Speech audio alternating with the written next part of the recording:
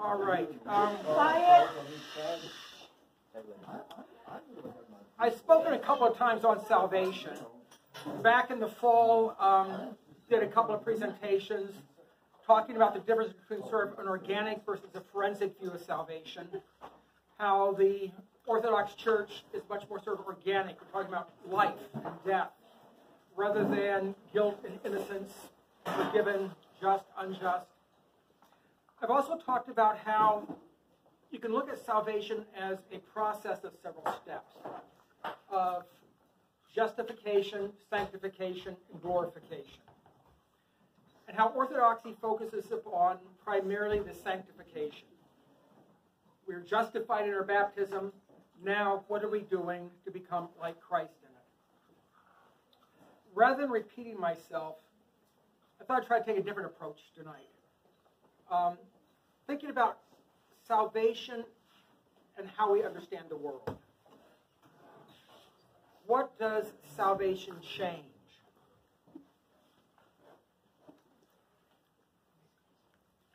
There's um, our Saturday morning Bible study has been going through the book of Romans fairly slowly, and we're hitting chapter 8. And chapter 8 is sort of a pivotal chapter because Paul, up until now, has been doing this long series of arguments about how the law does not save. Having, possessing the Mosaic law does not save Israel. If anything, the law condemns. Law points out sin and points out our failings. And to Paul, this is a positive statement because it means everyone is equally caught up in sin and death. And therefore, God can offer salvation to the whole world, not just to the Jews to whom the law was given. He's laying out this argument, um, verse 724.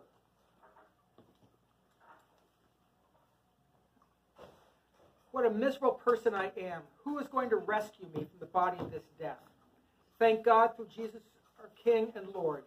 So then, left to my own self, I'm enslaved to God's law with my mind, but to sin's law with my human flesh. He's had salvation, but there's still this struggle going on. It is not something happens and it's all birds and butterflies and everything's great. There's a continuing struggle. And what I think Paul is dealing with is there's a mindset that has to be acquired. A way that we think, the way we approach the world, the way, way we approach reality. If you look back at a lot of the disciples,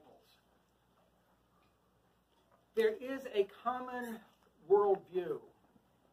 And these days, it's especially coming forward, but it's really, you can find it all the way through history. That the world is basically a nasty place built on power.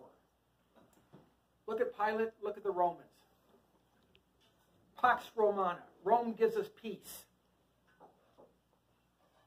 But if you go against us, we'll put you in place with nails if necessary.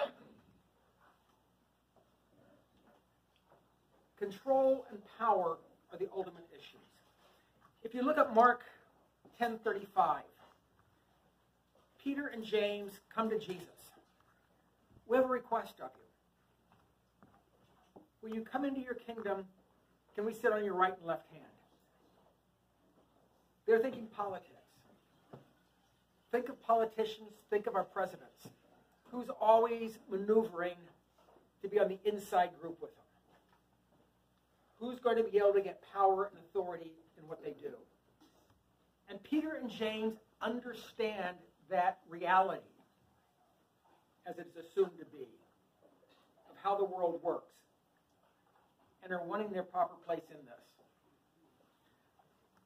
You look at Luke, the road to Emmaus. Again, they're caught up in a mindset. At the time of Christ, there's already been several Messiah figures, and there are more to come. And every single time, dead Messiah is a failed Messiah.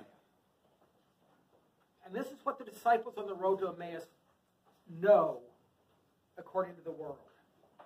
We thought this was the Messiah. He was a prophet, but he's dead. Therefore, he can't be the Messiah we were looking for, who is going to free us from Rome, overthrow the powers. And Jesus comes along and changes their mindset, their worldview. And that's what Paul's talking about here in chapter 8. In a sense, metaphysics change things. The resurrection changes everything. The resurrection, it is not something we can prove analytically. It's a one off event, absolutely unique in history. Never repeated, never before. And Paul's laying out that this is not a transaction. It's not just an exchange, something's happened. But this is a relationship. So therefore, there's no condemnation for those in the Messiah Jesus. Why not? Because the law of the Spirit of life in the Messiah Jesus released you from the law of sin and death. There is a transaction. There's a releasing from sin and death. But it's in Christ. For those of you in the Messiah. It is not just a something done out there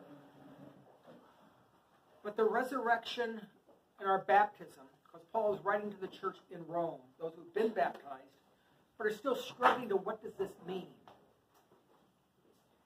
They say that this is a relationship of being in Christ. Metaphysically, we are not isolated individuals, as our modern culture thinks, where we stand alone. But having been baptized, we are in Christ. We are different there's a lot of what this is not. It's not just a rational change where I think about it, I know this happened, but it was out there back then. It's not an emotional change.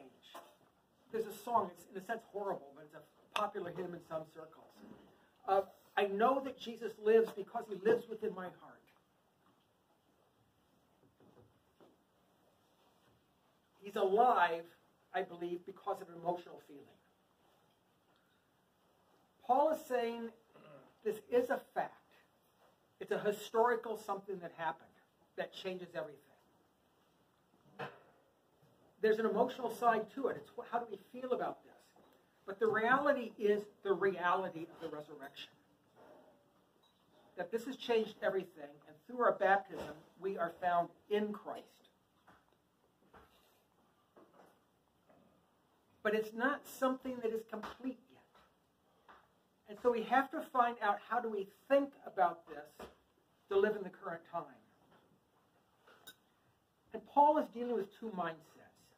And the mindset that Paul is going to have us to get into is the view through the resurrection of how it changes everything. He's going on about all these positive things that are going on. And then he comes up with this strange statement. All who are led by the Spirit of God, you see, are God's children.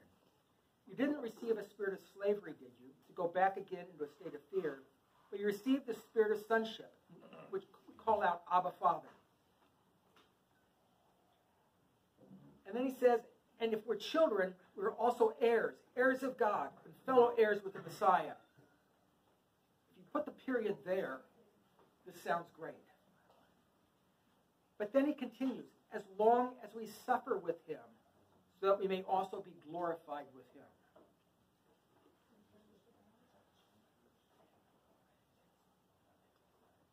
This is what Christ went through. Christ suffered the crucifixion to rise in glory. And some of the theology that we have we talk about Christos Victor, Christ the victor, who reigns from the cross. In the Roman mentality, in the normal mentality that we get caught up in, The cross is the absolute statement of failure. Rome, in its traditional view of power, asserts themselves on those who get in their way, who buck the trend, who don't follow their agenda, and we get rid of you. And Paul, in a paradoxical way, is saying that which they think is the ultimate humiliation and sign of failure. In the conquering of Rome, Paul and Christ are saying, This is the victory. Is at this moment that the victory takes place. And if we are in Christ, then we must go through the same victory, the same process. To experience the glory that God will give, we must also be willing to suffer through it too.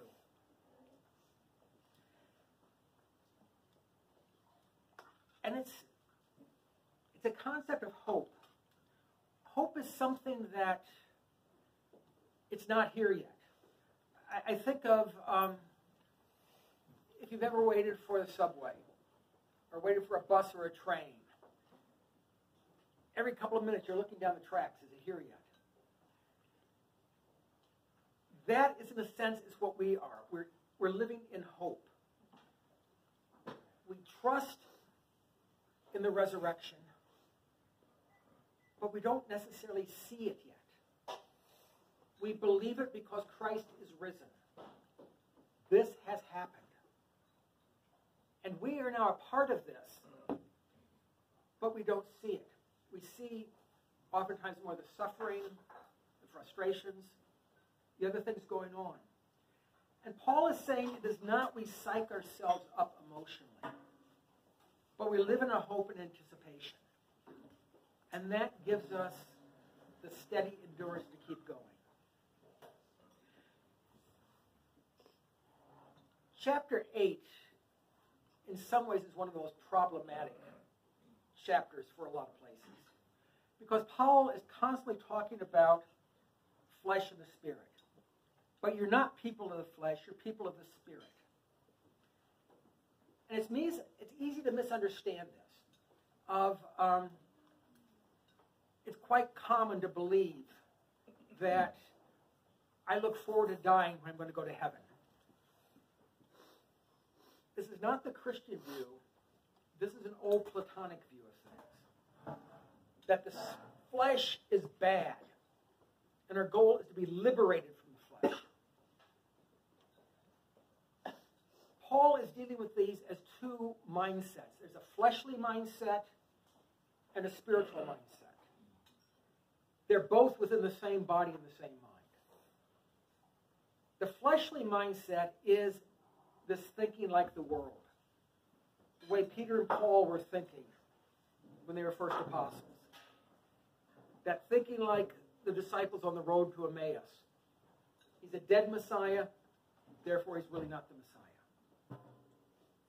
The Spirit, as Paul is using this, is that resurrection mentality.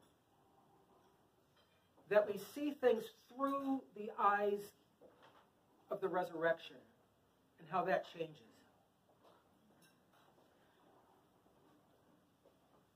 I say that it is not literally spirit and flesh. Because if it was this escape from the flesh, escape from the body, Paul wouldn't be saying some of the things he does here. In verse 19, yes, creation itself is on tiptoe with expectation, eagerly awaiting the moment when God's children will be revealed. Creation, you see, was subjected to pointless futility, not of its own volition, but because of the one who placed it in the subjection, in the hope that creation itself will be freed from its slavery of decay to enjoy the freedom that comes when God's children are glorified. It is not just a spiritual hope, but the whole creation. I, I like these words that sort of Paul uses. It's, it's, on tiptoe. You know, think of little kids, you know, looking into a, um, a case of candy or going to Baskin Robbins and looking at all the ice cream. They're sitting there in anticipation and hope of something to come. And Paul is saying it is the whole creation. This building, this land around us, all of this is caught up in the same thing. Only it knows the resurrection has taken place. The creation has that mentality of hope. And we're to join with that creation in that mentality. It's interesting to look at the way the word groaning is used throughout this chapter. In verse 22, let me explain. We know that the entire creation is groaning together and going through labored pains together up until the present time. Deliberately using the imagery of giving birth, a birth of a new creation. But it's like during the pregnancy, it's an anticipation. It's not here yet, as much as you wish it would sometimes. And it's going to go through a labor pains to get there. But it's an anticipation of something coming along with it. In 23, not only so, but we too, we who had the first fruits of the Spirit, life within us, are groaning within ourselves as we eagerly await our adoption, redemption of our bodies the resurrection. It is not all glorious, it's a groaning. But then he ends up tagging onto this. In the same way, too, the Spirit comes alongside and helps us in our weakness. We don't know what to pray for as we ought to, but the same Spirit pleads on our behalf with groanings too deep for words. It is not God sitting up here watching us suffer down here. It is God participating in this process, the Spirit participating bringing about our salvation and the salvation of the whole creation.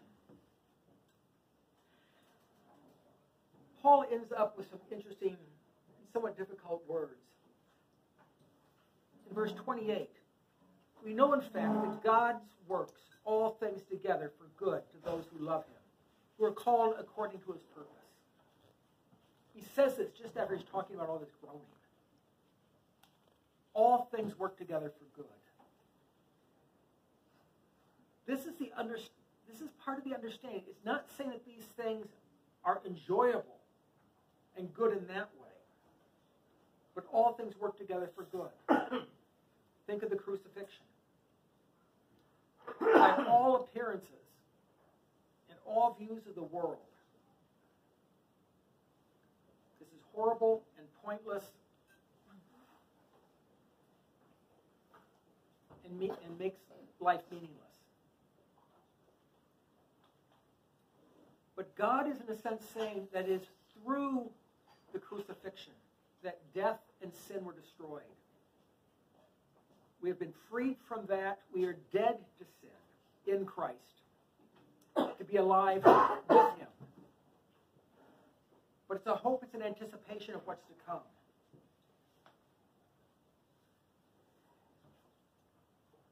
This is not living as if. Of um, you get some people who, yeah, life is ugly and horrible, but be nice anyhow. we live as if because things have changed. We are living in adoption. We're living as heirs of Christ. This is not a hope in the sense of, I hope the Easter Bunny brings me a lot of candy.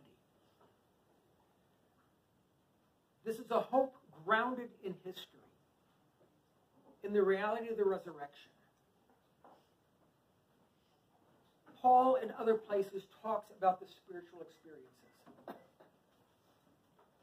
and that experiential side of the faith. But he's talking to the Romans, he's getting them much more grounded realistically. That we don't all have those experiences. we don't all have those warm, fuzzy feelings. And even those who have them don't have them all the time. And there is a sort of a hard part of Christianity that Paul is saying it is a life of hope, that will have suffering. But he ends up the chapter. Who shall separate us from the Messiah's love? Suffering or hardship or persecution or famine or nakedness or danger or sword? As the Bible says, because of, because of you, we are all being killed all day long. We're regarded as sheep destined for the slaughter. That's how the world sees us. No, in all these things we are completely victorious through the one who loves us. I am persecuted, you see, I'm persuaded, you see, that neither death nor life, nor angels, nor rulers, nor present, nor the future, nor powers, nor height, nor depth, nor any other creature will be able to separate us from the love of God in King Jesus our Lord.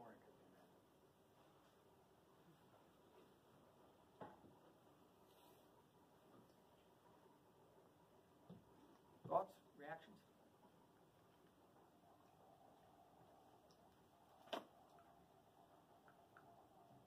So we don't have to be uh, ecstatic, joyous, you know, off the charts emotionally if we're just not like that most of the time. Mm-hmm.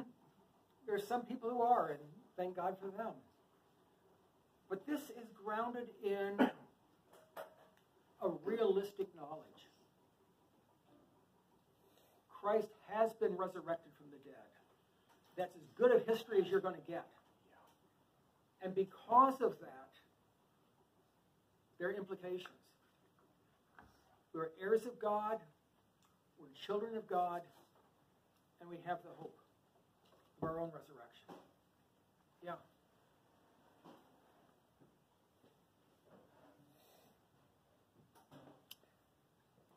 Thank you. Thank you. Oh, thank you, Howard.